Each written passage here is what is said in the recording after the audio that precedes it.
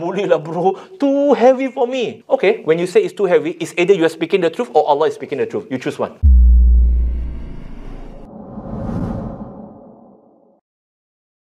Surah Al-Baqarah surah yang kedua ayat 286. Allah kata la yukallifullahu nafsan illa wusaha. Tidak Allah bebankan seorang hambanya melebihi apa yang dia mampu. Maksudnya, bila Allah bagi ujian, Allah tahu tak kamu boleh lulus. Tapi kenapa masih gagal? Kerana Allah tak bercakap benar. Because you choose not to.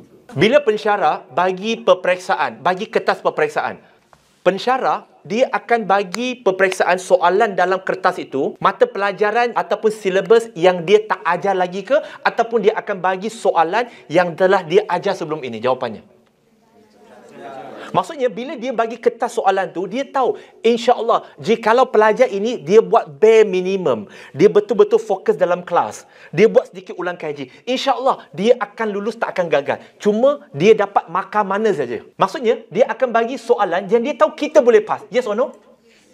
Yes. So when Allah say la yukallifullahu nafsan illa wusaha, Allah tahu tak kita boleh pass? Maksudnya bila kita kata, tak boleh lah bro, too heavy for me. Okay, when you say it's too heavy, it's either you are speaking the truth or Allah is speaking the truth. You choose one.